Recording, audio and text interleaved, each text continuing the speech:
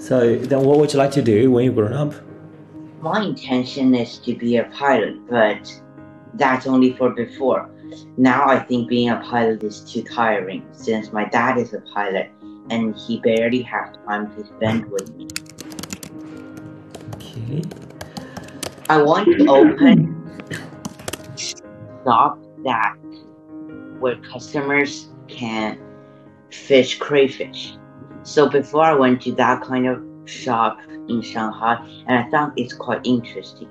However, the cons about that is me me having to stay in that shop for hours. Okay. Then why would you like to open that kind of shop? because I think it would be worth a lot. And I went to Vietnam and I thought there's a place where that is very crowded.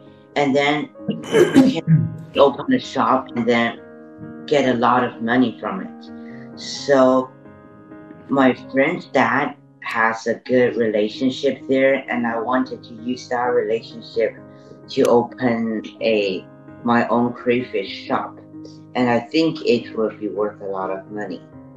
If you are going to abandoned island or by yourself with nobody else, but you can just bring three things with you, and which three things would like to bring to this forgotten island?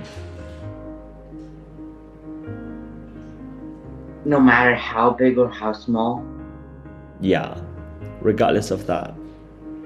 I would bring my house Okay. so I can live there. And also, I think just in case, Mhm. I would bring some kind of device that I could ask for help. Also, I would probably bring my friends Okay.